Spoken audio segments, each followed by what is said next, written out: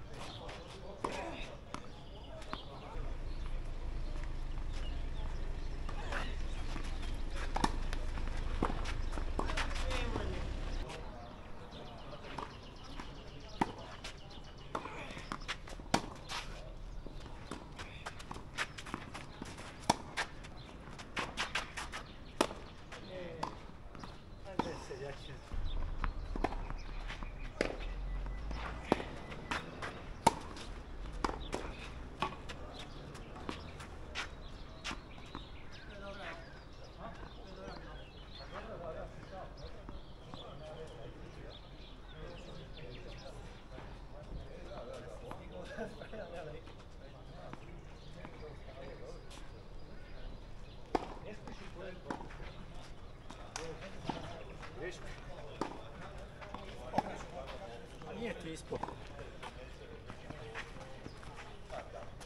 To je bilo sad to ono Đoković kad je rekao da je stao. A isto mi sad radi.